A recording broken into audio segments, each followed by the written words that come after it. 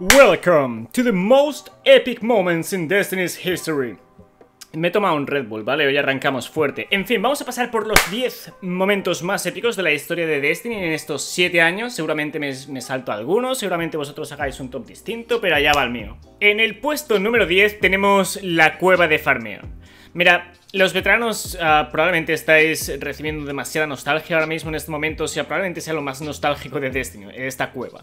Y para los que no lo sepáis, básicamente fue un lugar que encontramos prácticamente el primer mes o los primeros meses de Destiny y aquí básicamente podíamos farmear los enemigos de lejos, lo que permitía que spawneasen si estábamos a suficiente distancia y podíamos estar disparando ilimitadamente y ellos no paraban de soltar recompensas, pero bueno, tal y como veis incluso más, no sé si llegaban a soltar exóticos de vez en cuando, creo que sí, así que era realmente impresionante y definitivamente tiene que entrar en la lista. Luego, esto quizás no sea tan importante para algunos, pero en verdad sí, ¿vale? Esta fue la primera semana que vino el agente de los nueve, que vino Chura a la torre y nos trajo los exóticos para comprarlos directamente. Y bueno, para nosotros era impresionante. Y mira, este fue el primer Chur de toda la historia de Destiny y sigue teniendo más cosas interesantes que el actual, ¿vale? Fijaos en, ese, en esas curiosidades, poder comprarle munición y demás y bueno, Sí. Lo, que recuerdo que la segunda semana también trajo rompesoles. Sí, ahí lo estaba mostrando. Y de hecho, este es mi vídeo. Voy a mostraros un momento cómo hablaba en aquel entonces, hace 7 años.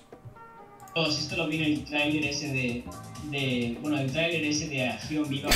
Vale, suficiente. Bueno, venga, pasemos al puesto número 8. Luego, tenemos el francotirador exótico martillo negro. Y de hecho, qué, exótico, la verdad. O sea, este francotirador para empezar era legendario, pero con las ventajas de un, un francotirador exótico. El primero, el original, se obtenía en la incursión de El fin de Crota, ¿vale? Luego lo nerfearon, luego regresó, se llamaba Uso Negro, se obtenía en una misión oculta dentro de otra misión del Rey de los Poseídos. Y luego lo volvieron a nerfear, toma gracia. En fin, unos años después regresó el susurro del gusano en Destiny 2, toma y poco después lo volvieron a nerfear. Creo que lo han nerfeado como 7 veces en Destiny 2 solamente, ¿vale? Sin contar los del Destiny 1. Pero sí, ahí podéis ver lo impresionante que era y tener en cuenta que era legendario y que ha habido tantos nerfeos y tantas variables, incluso tres armas distintas del mismo arma, por así decirlo, pues había que mencionarlo. Ahora, más nostalgia para los veteranos y probablemente what the fuck para los que no tengáis ni idea de esto. O sea, esto es un mapa, es un mapa que hice eh, de la sala del puzzle de brote primario. Vale, como veis, uh, bueno, no sé si ni siquiera sabría explicaros esto ahora, o sea, tendría que incluso mirármelo, pero básicamente cada uno de esos circulitos es una plataforma donde teníamos que ponernos y para saber en cuál teníamos que ponernos y el orden en el que ponernos, teníamos que ver otro par de pantallas Aquí las veis, ¿vale? Hay dos monitores, así que dos guardianes tienen que activar estos monitores, leer rápido el número binario, convertirlo rápidamente y entre los dos darle la posición al guardián en el orden correcto para que al final se abra la puerta y poder obtener brote primario. Al menos era parte de la aventura, así que impresionante, definitivamente uno de los mejores momentos de Destiny. Luego en el puesto número 6 tenemos el puzzle del DLC Estratega. Lo que estáis viendo de fondo en pantalla y que quizás habéis visto y os habéis preguntado qué onda con esto, formaba parte de un puzzle impresionante largo e y complejo que incluía descifrar y decodificar varias eh, series de códigos que obteníamos de eh, distintas pantallas haciendo distintas cosas. Es muy difícil de explicar, ¿vale? Pero resumiendo, incluía, incluía hasta pasos en la vida real, ¿vale? Al final, la comunidad logró encontrar una, una localización, ¿vale? Es decir, ahora no me vienen. Bueno, sí, eh, desbloquearon unas coordenadas al final después de decodificar tropecientas cosas, ¿vale? Y esas coordenadas marcaban un lugar en la vida real. Aquí de fondo en pantalla veis el mensaje que ocultó Bungie ahí en el bosque y que finalmente por fin logró encontrar la comunidad. Dentro encontramos una réplica de una Valkyria que dejaron ahí, bueno... Lo dejaron supongo que el tiempo que pudo durar, ¿vale? Había una serie de monedas también que se supone que era para que compartiesen entre los distintos que encontrasen el puzzle, ¿vale? Que no se lo llevasen todo de golpe, cosa que no hicieron, aunque quién sabe, supongo que alguno pilló más de una para luego venderlas. De todos modos, ahí está, ¿vale? Fue uno de los mejores puzzles de la historia de Destiny, y no solo eso, sino que también nos reveló la posible identidad de la desconocida. Seguimos sin tenerlo del todo claro y pronto os haré un vídeo sobre la desconocida, por cierto, hablando sobre todos estos temas, pero sí, también nos dio pistas sobre que la desconocida podría tratarse de Elsa Bray, la hermana, bueno, la hermana adoptiva, mejor dicho, de Anna Bray. Ahora, esto que estáis viendo de fondo en pantalla es lo más raro en todo Destiny. No solo el exótico más raro, el arma más rara, es lo más raro de lo más raro de Destiny porque solo lo tiene un solo jugador, ¿vale? Este arma, que como veis es prácticamente sin tiempo para explicaciones a nivel estético, tiene las ventajas de conejo de Hades, si no recuerdo mal, de hecho las podréis leer por ahí, ¿vale? El caso es que sí, es una especie de mezcla entre conejo de Jade y sin tiempo para explicaciones es única, es decir, de hecho tiene el diseño como sin tiempo para explicaciones tirando al básico, al del primer pulsos que te da la desconocida, no es exactamente sin tiempo para explicaciones. De todos modos, solo lo tiene un jugador, porque Bungie se enteró a través de un subreddit que uno de los guardianes, un guardián como tú, como yo, pues estaba pasando por una serie de cirugías cerebrales y mientras lo hacía, aparentemente estaba jugando a Destiny para... Bueno, porque aparentemente depende de qué cirugías cerebrales, pues tienes que estar haciendo cosas para saber si está todo bien, ¿vale? Y una de las cosas que estaba haciendo era jugar Destiny. Entonces, Bungie se enteró de eso y decidió regalarle Fate of All Fools, el único exótico que solo tiene un jugador en Destiny. Ese probablemente podría pasar incluso al primer puesto, la verdad es que es de lo más épico que ha ocurrido en Destiny y un pedazo de detalle por parte de Bungie. Pero ahora lo que estamos viendo fueron los momentos breves antes del evento en vivo de Destiny, ¿vale? Estuvimos aquí esperando como una hora y pico y aún no había ocurrido nada. ¿Veis esto de aquí arriba? Se supone que son los cohetes, ¿vale? Tardaron más de una hora en impactar. Entonces... Eh, fue, el primer evento que hizo Bungie, ¿vale? Y que saliera tan bien, la verdad es que es un gran punto para ellos, ¿vale? O sea, es el la primera vez que hacen algo como esto y les salió bien.